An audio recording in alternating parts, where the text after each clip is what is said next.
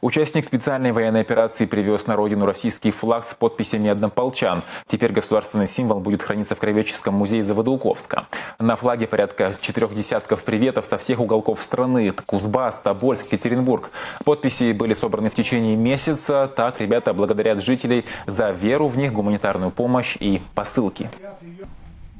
Я сколько там нахожусь, с Заводуковска постоянно что-то привозят, привозят. Там вот три гуманитарных конвоя приходило, и все были с посылками из города. Там было письмо мальчишки, вот я его прочитал с нашего, с города. Мальчик пишет, и как-то вот меня все это вдохновило, и как-то вот пришло вот это решение, значит, что все-таки какой-то ответ нашему городу сделать. Это большая честь получить флаг с подписями бойцов, которые непосредственно нам привезли с горячей точки. Вот оттуда он пронизан, может быть, пафосно кровью и потом ребят.